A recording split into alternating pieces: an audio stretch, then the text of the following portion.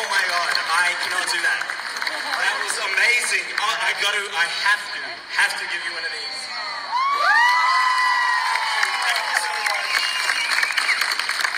And uh, thank you again for all our dancers. I'm gonna go practice. I need that.